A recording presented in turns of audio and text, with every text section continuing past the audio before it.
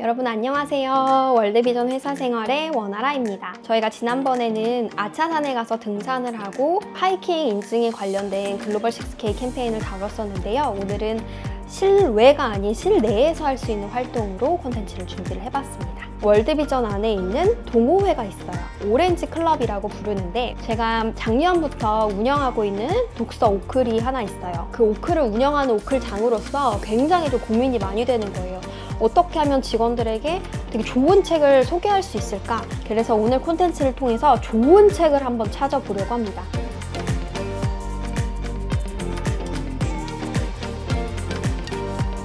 직원들에게 추천하고 싶은 책은 천명관 작가님의 고래입니다. 부커상 후보에도 올라갔었고 굉장히 좋은 재밌는 책이라는 추천을 많이 받아가지고 직원들에게 추천을 했었는데 저는 어떤 느낌이었냐면 제가 일상에서 받는 스트레스들이 있잖아요 어떤 막 인간 관계에서 힘들고 막 일상이 너무 지겹고 지치고 이런 일상을 살았는데 어, 나에게 언제든 몰입할 수 있는 즐거운 그 재미의 요소가 나를 항상 기다리고 있다는 생각이 있어서 굉장히 막 기분이 좋은 거예요. 너무 힘들어도 아 그래도 나한테는 책이 있어. 퇴근하고 이 책 읽으면 나는 다시 나의 즐거움을 회복할 거야. 마음이 드니까 그 시간을 조금 지나갈 수 있게 되더라고요. 그래서 그런 걸 경험하고 나니까 다시 한번 재밌는 책을 만나서 내가 이렇게 완벽하게 몰입했으면 좋겠다라는 생각이 들더라고요. 그래서 여러분에게도 이 천명관 작가님의 고래를 강력하게 추천드립니다. 그 다음으로 제가 읽으려고 준비한 책은 바로 모순입니다.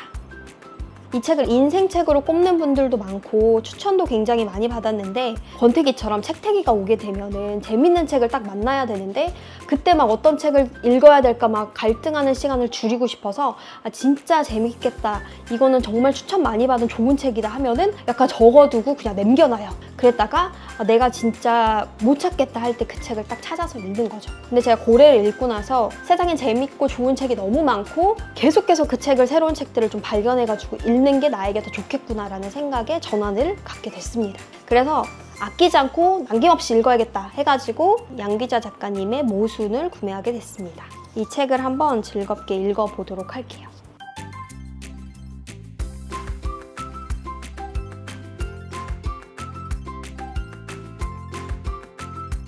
월드비전 안에는 저뿐만 아니라 책을 좋아하는 직원들이 굉장히 많이 있어요. 그래서 오늘은 월드비전 직원들이 어떤 책을 좋아하고 어떤 책을 읽는지를 여러분들에게 한번 소개해 드리려고 합니다. 많이 기대해 주세요. 안녕! 안녕하세요. 저는 후원 만족 1팀의 안경준 간사입니다.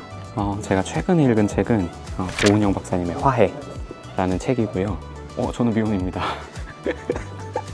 아, 미래, 미래의 육아를 생각하면서 어렸을 때 부모님과의 관계나 어렸을 때 경험해온 것들이 지금의 나에게 어떠한 뭐 상처 내지는 뭐 이런 내면을 형성하게 됐는지에 대한 얘기인 것 같아요. 그래서 어릴 때 나를 만나고 돌아보고 보듬어주는 그런 책이었다고 저는 생각을 합니다. 메모도 하면서 읽었거든요. 어렸을 때뭐 물론 사랑받으면서 자랐지만 내가 받았던 상처들이 좀 재해석되기도 하고 그런 모습들이 지금의 나를 이렇게 만들었구나 이런 게 좀 있었어가지고 굉장히 추천을 드리는 책입니다. 사실 휴가 가려면 책이 얇아야 되거든요. 아무리 생각을 해도. 근데 골라보니까 두꺼운 책을 고르게 됐어요. 소크라테스 익스프레스라는 책이거든요. 철학자들이 삶을 뭐라고 생각했는지, 뭐라고 얘기했는지에 대해서 소개해주는 책인데 총 14명의 철학자들의 철학을 소개해주고 있고 교양으로 읽기가 좋은 것 같아요. 저는 제가 좀 깊이 엄청 읽거나 이런 걸 어려워해서 간략하게 읽으면서 막 크, 좋은데 약간 이런 걸 좋아하거든요. 보통 여행지 카페 같은 데서 책을 읽게 될 것 같은데 그 여유로운 순간에 막 하, 좋다. 그치 삶은 이런 거지. 막 이러면서 읽기에 좋은 것 같아서 이 책을 가지고 와봤습니다. 안녕하세요. 법인 경영팀의 이지행이라고 합니다. 최근에 읽은 책은 행복의 기원이라는 책인데요. 문득 살아온 날보다 앞으로 살아갈 날이 어쩌면 더 적을 수도 있겠다는 생각이 들어서 앞으로 저에게 남은 날들을 행복하게 살아보고 싶어서 골랐습니다. 서은국이라는 심리학과 교수님이 쓰신 책인데 여러 가지 심리학 연구들이나 그런 연구 결과들을 토대로 해서 저희가 어떻게 하면 행복한 삶을 영위할 수 있을지 여러 가지 사례를 들어서 잘 쉽게 재밌게 설명을 해주셨어요. 일단은 여름 휴가 때 책을 읽을 수 있다는 것 자체가 부러웠고요. 저처럼 이제 아이가 있는 입장에서는 여름 휴가 때 책 한 장 넘기기도 어려운 현실이다 보니까 엔도 슈사쿠라는 일본 작가가 쓰신 책인데요. 침묵이라는 소설책이고요. 1600년대에 일본에 그 천주교 선교사님들이 오셔가지고 천주교를 전파하시고 했는데 그 당시 일본 정부가 천주교를 박해를 해요. 그래서 선교사님들도 핍박을 당하는 그런 내용인데 보시면 2007년도 1월에 처음 읽었던 책이고 제 나름대로는 많은 충격과 그 여운이 남는 책이었는데 17년이 지난 지금 읽었을 때도 여전히 많은 생각을 들게 하는 그런 좋은 책이었다고 생각합니다.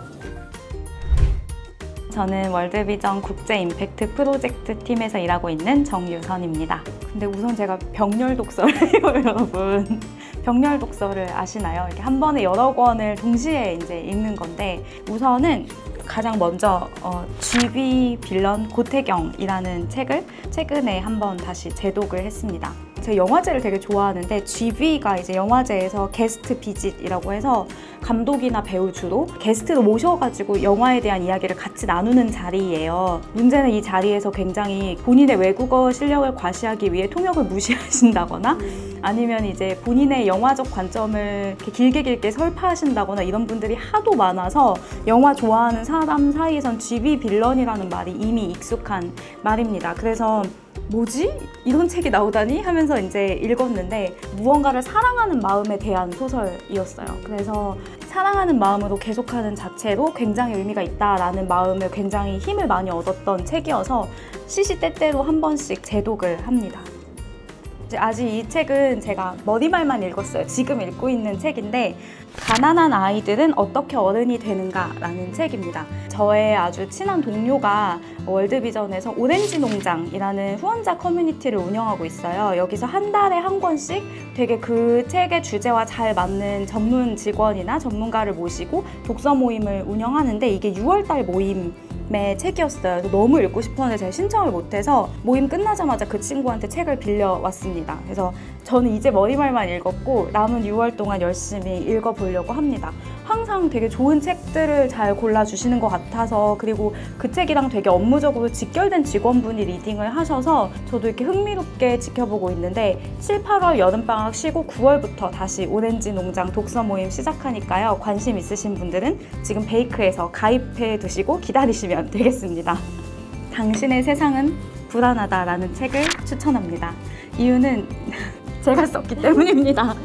제가 썼는데 세상에 굉장히 많은 이슈들이 있잖아요. 분쟁도 일어나고 갑자기 하루아침에 뭐 범죄 피해자가 되기도 하고 이런 것들을 우리가 그냥 스쳐 지나가기 너무 쉬운 이슈들이 많은데 기억하는 것 자체가 얼마나 힘이 있는지를 어, 느끼셨으면 하는 마음으로 썼던 책입니다.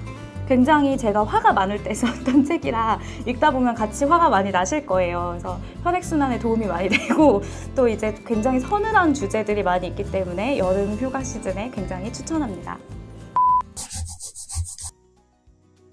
저는 책을 주로 출퇴근하는 지하철 안에서 책을 좀 많이 읽는 편이에요. 그래서 제가 어떻게 하면 지하철에서 책을 잘 읽을 수 있을까 고민하다가 이런 아이템을 발견했습니다.